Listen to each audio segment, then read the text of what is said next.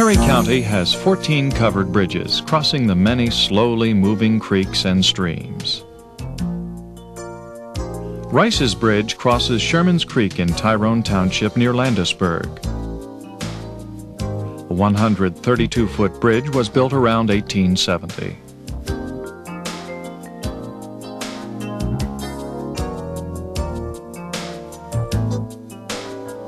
The roadway is laid with 16-foot planks. As is the case with many of Perry County's covered bridges, steel I-beams reinforce the bridge work to give access to heavier traffic.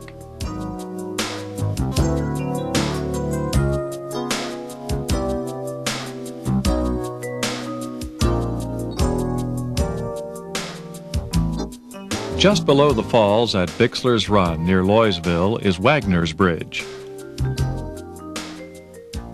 The structure was built in 1889 at a cost of only $1,100. Now closed to traffic, the 17-foot wide, 84-foot long structure uses the familiar Burr arch construction. On May 23, 1947, the bridge was given to the care of the Historical Society of Perry County. The Enslow Bridge over Sherman's Creek would be an excellent spot for a picnic or quiet reflection. The 118-foot bridge sits well off the main road. It was built in 1904 at a cost of $2,200. Another bridge well off the beaten path is Bistline Bridge. The structure shows its age, well over 100 years old.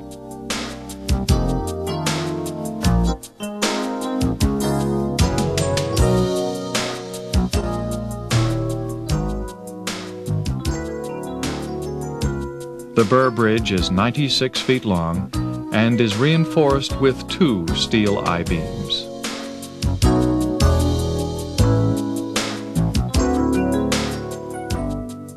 To get this shot of the Mount Pleasant Bridge, our photographer got his feet wet. One of the newer bridges in Perry County, it was built in 1918. The 73-foot bridge spans Sherman's Creek near New Germantown.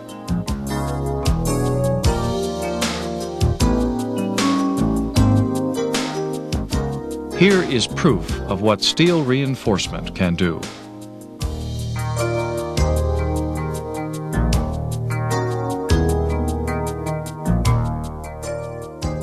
This is the view of Sherman's Creek looking out of Books Bridge.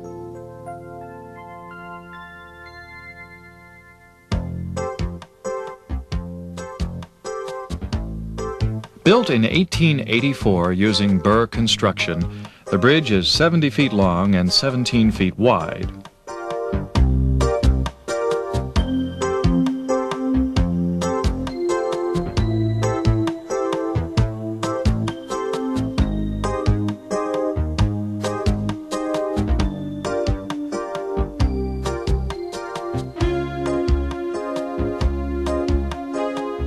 There's a covered bridge somewhere in this picture. Can you find it?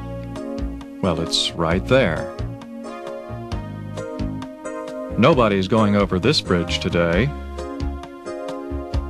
The Kochenderfer Bridge crosses the Big Buffalo Creek and sits parallel to the bridge that replaced it. It makes a perfect place to store a load of hay. The bridge was built in 1919 at a cost of $2,400. Still on the Big Buffalo Creek, these are the piers of the Saville Covered Bridge. Overall length is 60 feet with two plies of 2-inch oak planking on the floor.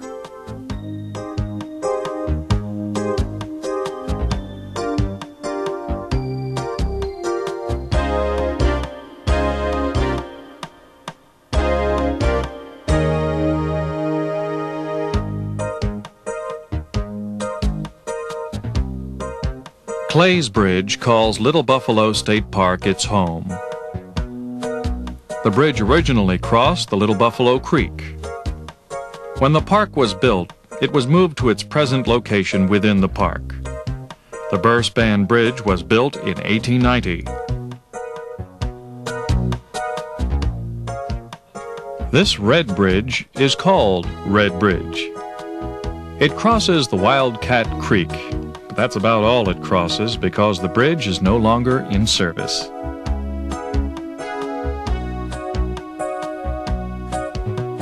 Overall length of the bridge is 55 feet.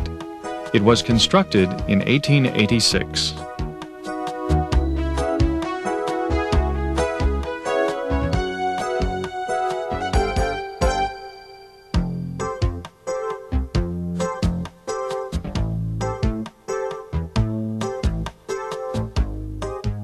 Everyone knows 1948 was a good year for a paint job.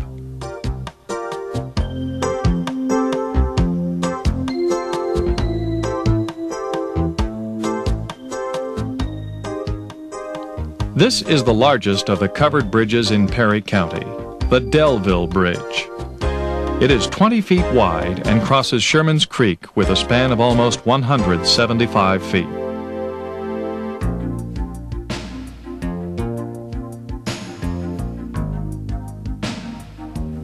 Originally built in 1889, again the Burr Arch construction is found. In 1932, the center pier was added for the support of heavier load capacities.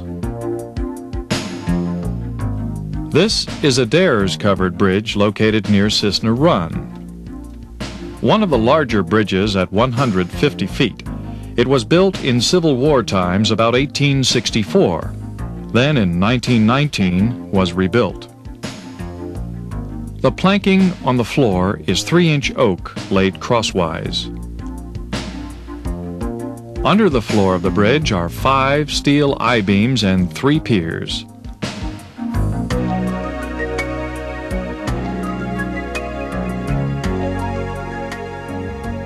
This in-the-water shot is Sherman's Creek near New Germantown. The new Germantown Bridge crosses here.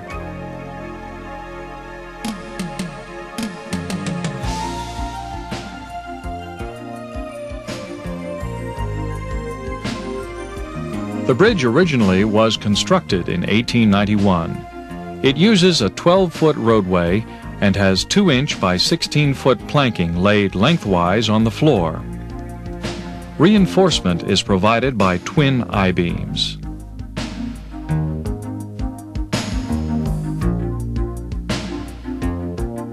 This looks like an excellent fishing spot, but on our visit to the new Germantown Bridge we didn't see any fishermen crossing, just various branches of the constabulary.